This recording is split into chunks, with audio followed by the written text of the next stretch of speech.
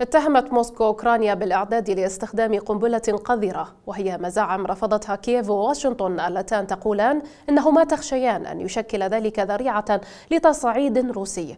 وخلال محادثته مع نظيره الفرنسي سيباستيان لوكورنو ندد الوزير الروسي بأوضاع في أوكرانيا تتجه إلى مزيد من التصعيد الخارج عن السيطرة.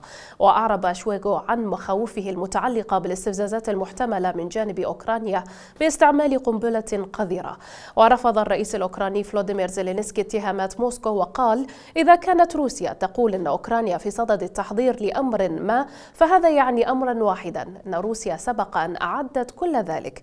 وأعتقد أن على العالم أن يرد بأقصى قدر ممكن. وأضاف إذا كانت روسيا قد أعدت مرحلة جديدة في التصعيد فعليها أن ترى الآن في شكل احترازي وقبل واحدة من قذراتها الجديدة إن العالم لن يقبل بذلك.